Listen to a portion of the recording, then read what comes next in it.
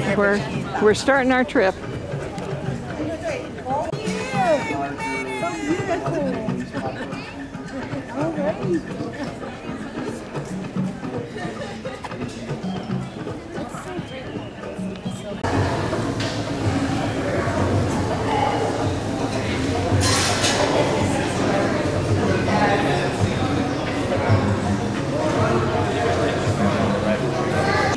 Uh, Pittsburgh.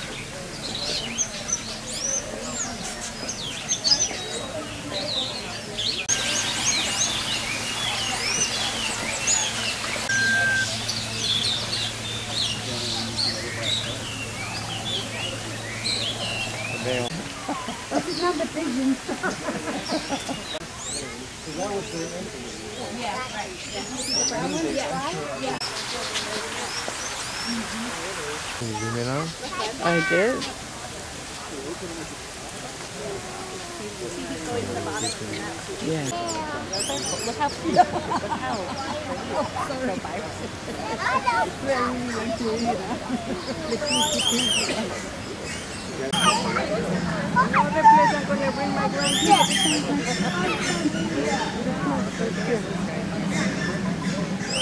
me get a picture of you. Hand me the camera. Get a picture of you. You can get a kiss. It's funny how they filter the, the, the water.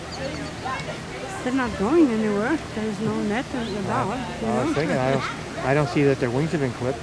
No, I don't think so. Doesn't look like. Okay, when you have the map, when you have the map, and where are you and where we want to go? Australia? yeah. Yeah. Platypus, the only place outside of Australia you can see them. Now is that. This is a sand cat, and you can tell it's just. There's just only one in there. He's all alone. He's all by himself. He likes it that way. He doesn't want a girlfriend. He does not want a girlfriend. Well, they have turtles here, and it looks like this little tiny one is in this home here. It's a python. Yeah, it's a python. Oh, that's something. It's, it's inside.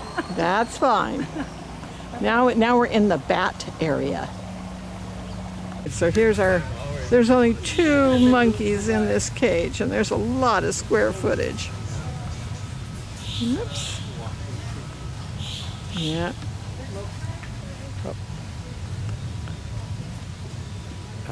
the way.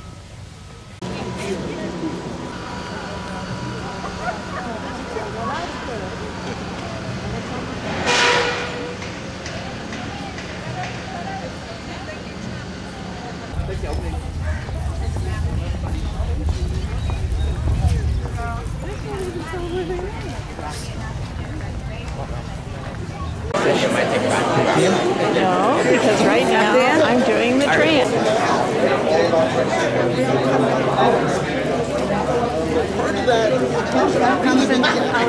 I'm probably judging, but the one on the left is a man. The one that looks like it's um, kind of like black and white is a woman. That's the one I want you to bring. you up here in the very front with me, you'll just get my attention through my back window. Okay, now add it. All right, now that we've finished with all of our safety information, we can start talking about some of our very diverse areas with a ton of different animals living out here. And all of them are going to have their own special tricks for survival, just like those giraffes, the rhinos, the antelope, the buffalo, the zebra, and so many others who will all be living out here together. Now, of course, the moment, as you can probably already guess, is one of the main areas that we are going to get parents as we breed some new northern white rhinos. We are going to be the main cleanup crew out there on the savannah, picking up the messes that predators leave behind, and are also going to be the best way to keep disease from spreading out there, too. So it is going to be a rather messy and a rather thankless job for them, but one that is absolutely essential to make sure that everybody else out there can stay as healthy as possible. Which, trying to make sure they can thrive alongside the rest of us living out here. Now, it looks like we got a couple other different kinds of African. That makes a lot of sense because they're frequently coming up against the cheetah. So they're going to be trying everything they can to outrace and outlast them, which they actually do have a pretty good chance of doing, as long as they're not caught by surprise. Especially since there's no cheetahs. Now, just ahead of us, we've got another very different kind of antelope, once again, with some of our Ellipsen waterbuck, who are going to be an antelope that tend to spend a lot of their time in and around the water, since they are incredible swimmers. So, if they run into any trouble out here, they're going to go running straight for that water behind us to outswim anything that might be after them. In fact, they're probably also the most comfortable on rainy days like today, since that fur of theirs is also pretty well waterproof with an extra oily texture to it, which is going to be pretty similar to a lot of water birds, or even in the way that we would use a wetsuit to keep us dry in a similar way. It fits in the too big to mess with category with our other Tower of Giraffe. Because yes, tower is actually what you call a group of giraffe. Now, of course, that height of theirs is not just going to help keep them safe, like we were talking about, but it's going to give them a lot of other special privileges too, including being able to reach way up into the trees out there to grab the branches and leaves that only they're going to be reaching. But it's also going to make them the natural lookouts on the savannah as well. And that's because they've actually got an incredible set of eyes to go with that height, letting them spot movement and predators up to two miles away out there. So a lot of the others are usually going to stay pretty close to those giraffe, and if any of them do see something and start running out there, then you can pretty much guarantee everybody else will probably run too. No, really long horns and those really pretty markings all over their body, and the sable antelope, the dark chocolate brown ones here with the long curved horns. Now, while I personally think these are two of our most handsome out here, beauty is not what they're going for, as these two are going to be focused on intimidation. Not just using those big horns of theirs, but those extra markings, which are kind of like a war paint for them to really show off to the others out here that they're going to be very good at defending themselves and will fight back if they need to. Animals. But those wild ass are actually one of the most endangered animals in our park right now oh, because the area they live in is very heavily threatened and there might actually be less than 100 adults in the wild. So, with one that's really going to stand out out here, those Cape Buffalo. And that's because they're actually trying to stand out with that dark color of theirs, since they don't run or hide from trouble, but fight back against anything that messes with them, including the lions, which they'll do especially when they're protecting their young ones, who they'll keep tightly wrapped in those big circles. And those buffalo are really good at what they do. In fact, they're actually considered the second deadliest animal in Africa behind the hippo. Mm-hmm. So it's usually a pretty good idea to give them plenty of space.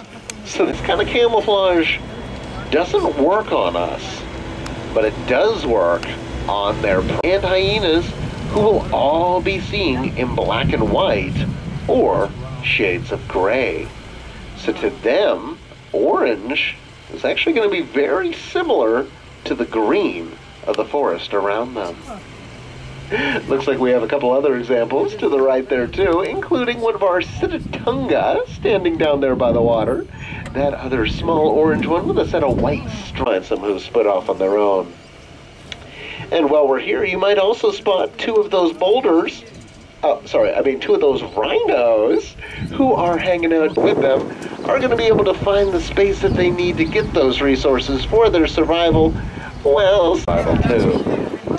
And would you look at that, just like I mentioned, those giraffes were a little upset by some of the people out there, and they're moving, so others are definitely moving too, including that group of Hemsbach who are giving them plenty of space, and those waterbuck down there as well. Looks like we're just going to be rolling alongside them for a minute here. And yeah, they calmed down nice and easy once they got down to this end here, but you might have noticed too that the one that was almost leading the charge on this case was actually our youngest giraffe out here, little Elliot, who is just a little over four months old right now, and already about uh, getting a lot of fun activity out here at the moment. But of course, now that we've come all the way over here on the right, and we got some really cool animals out there to talk about as well, including another very big animal. People living in that part of Africa love using these guys as a status symbol, so they just keep growing them bigger and bigger, so they'd be more impressive looking to own. Now they're inspired the unicorn, and you might be able to guess why. With some of the first people met, who met them from Europe, seeing a white horse-like animal with a crazy horn, and assuming it had to be some kind of magical animal. Now, we've definitely been talking about all kinds of awesome trees that they're usually standing under.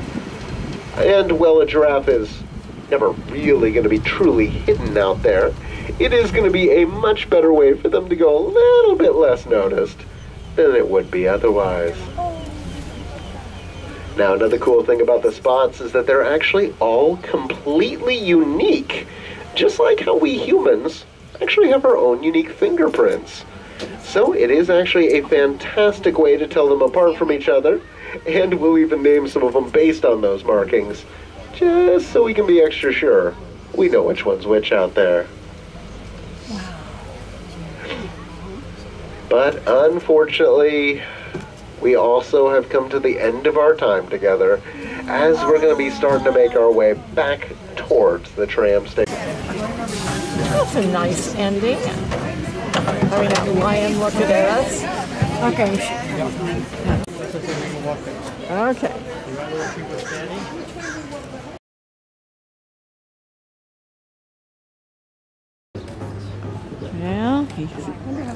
Shows how much he's king of the jungle. loves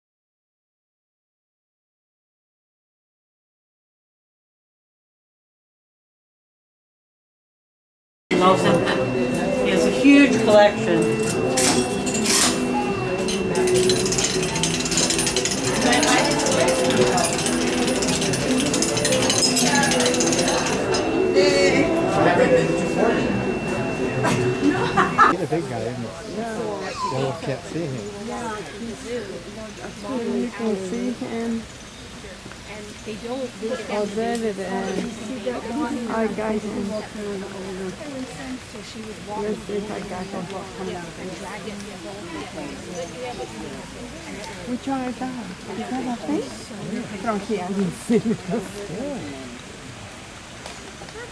Oh, look at that one.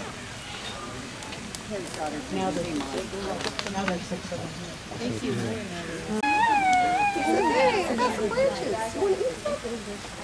You think you're gonna share? Where are they going? How they're gonna go?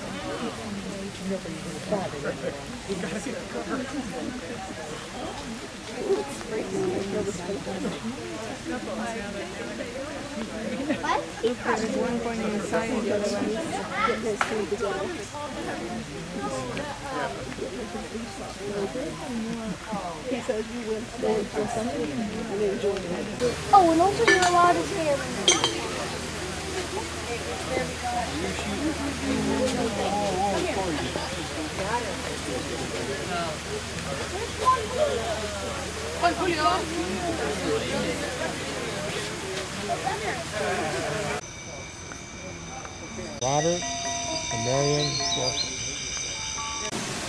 This is the tiger enclosure.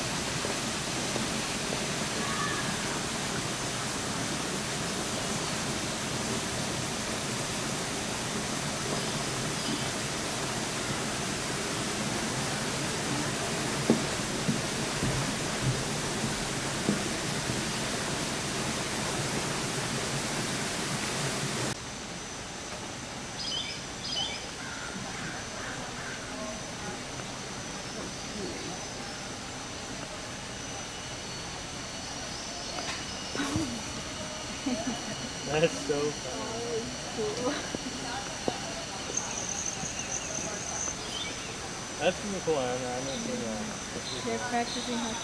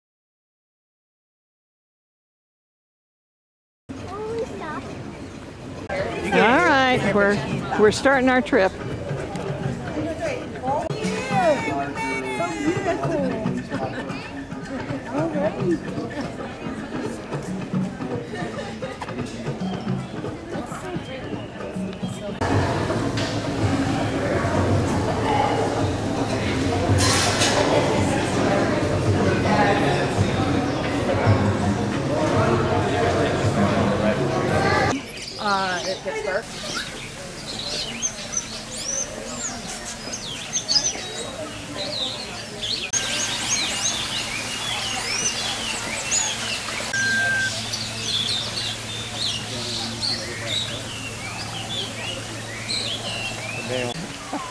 how All right, we're we're starting our trip. Can you zoom in on? 'em? I did.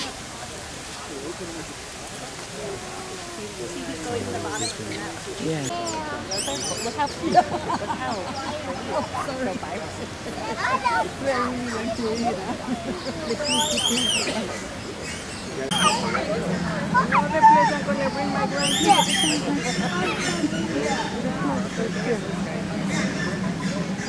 Let me get a picture of you. Hand me the camera. I'll get a picture of you. You can get a kiss. It's funny how they filter the, the, the water. They're not going anywhere. There's no net at all. You I was know? thinking, I don't, I don't see that their wings have been clipped. No, I don't think so. Doesn't look like.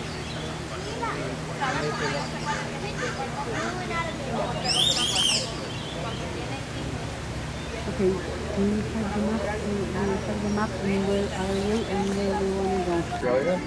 Yeah, yeah. Platypus, the only place outside of Australia you can see them. Now is that. This is a sand cat, and you can tell it's just. Is there only one in there? He's all alone? He's all by himself. He likes it that way. He doesn't want a girlfriend? He does not want a girlfriend. Well, they have turtles here, and it looks like this little tiny one is in this home here. It's a python. Yeah, it's a python. Oh, that's something. It's, it's. That's fine. Now, now we're in the bat area. So here's our. There's only two monkeys in this cage, and there's a lot of square footage. Oops. Yeah.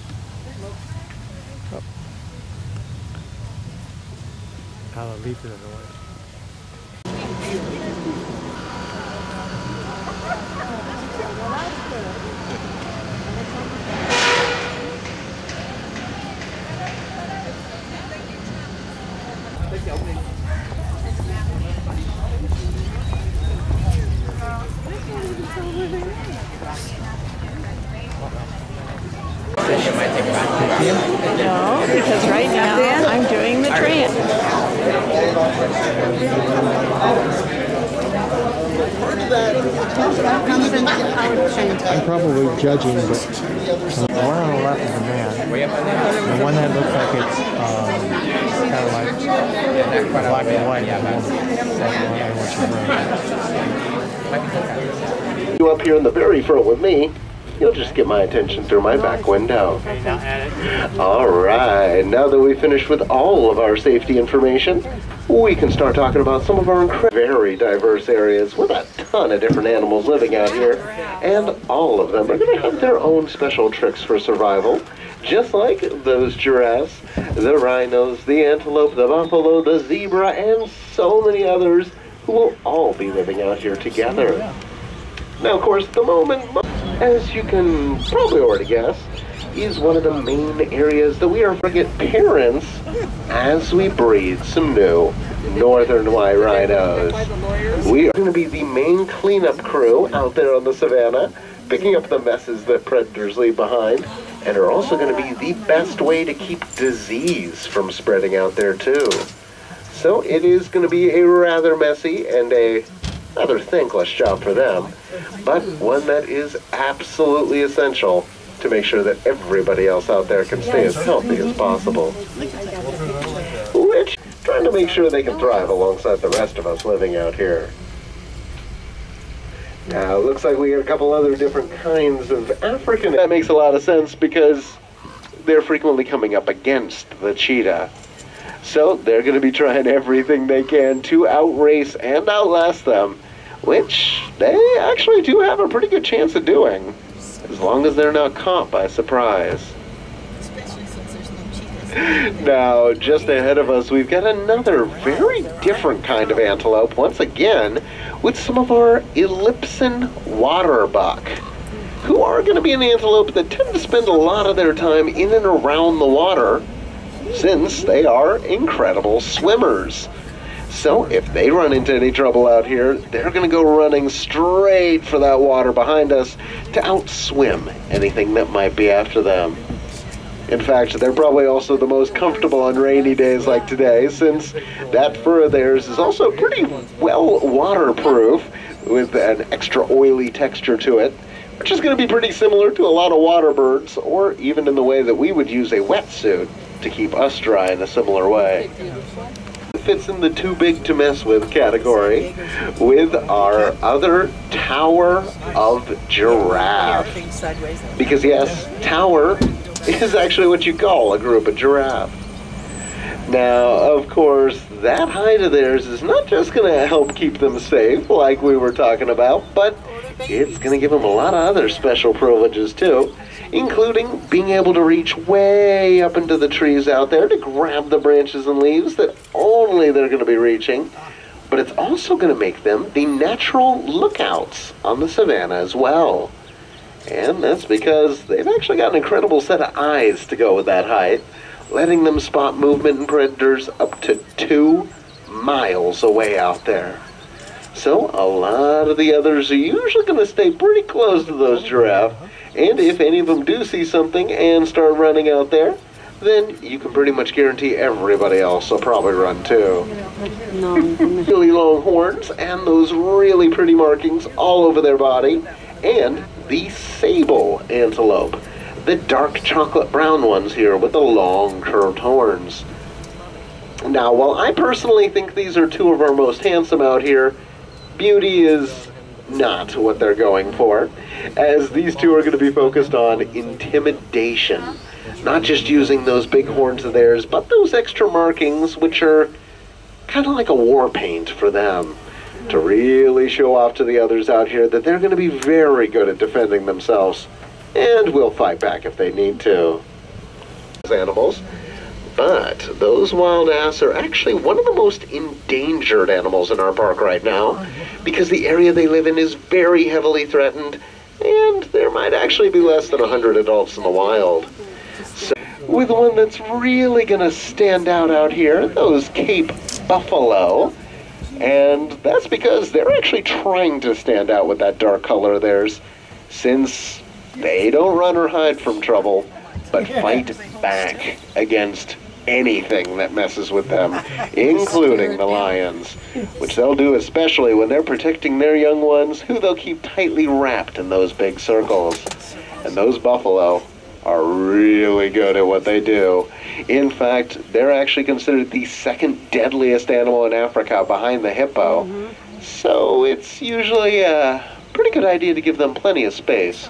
So this kind of camouflage doesn't work on us, but it does work on their and hyenas, who will all be seen in black and white or shades of gray. So to them, orange is actually going to be very similar to the green of the forest around them. Looks like we have a couple other examples to the right there too, including one of our Sitatunga standing down there by the water. That other small orange one with a set of white stripes, some who split off on their own. And while we're here, you might also spot two of those boulders. Oh, sorry, I mean two of those rhinos who are hanging out with them are going to be able to find the space that they need to get those resources for their survival. Well, survival too. And would you look at that, just like I mentioned, those giraffes were a little upset by some of the people out there, and they're moving, so others are definitely moving too, including that group of gemsbok who are giving them plenty of space, and those waterbuck down there as well. Looks like we're just going to be rolling alongside them for a minute here. And yeah, they calmed down nice and easy once they got down to this end here, but you might have noticed too that the one that was almost leading the charge on this case was actually our youngest giraffe out here, little Elliot, who is just a little over four months old right now, and already about uh, getting a lot of fun activity out here at the moment. But of course, now that we've come all the way over here on the right, and we got some really cool animals out there to talk about as well, including another very big animal. People living in that part of Africa love using these guys as a status symbol, so they just keep growing them bigger and bigger so they'd be more impressive looking to own. Now they're inspired the unicorn, and you might be able to guess why with some of the first people met, who met them from Europe, seeing a white horse-like animal with a crazy horn, and assuming it had to be some kind of magical animal. Now, we've definitely been talking about all kinds of awesome trees that they're usually standing under. And while a giraffe is never really going to be truly hidden out there, it is going to be a much better way for them to go a little bit less noticed than it would be otherwise. Now, another cool thing about the spots is that they're actually all completely unique, just like how we humans actually have our own unique fingerprints. So it is actually a fantastic way to tell them apart from each other, and we'll even name some of them based on those markings, just so we can be extra sure we know which one's which out there. But unfortunately, we also have come to the end of our time together as we're going to be starting to make our way back towards the tram station. That's a nice ending. Having a lion looking at us. Okay. Okay.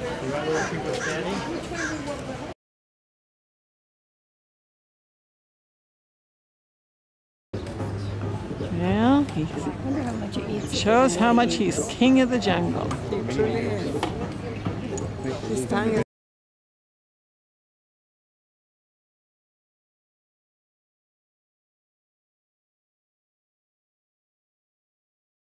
He loves him. He has a huge collection.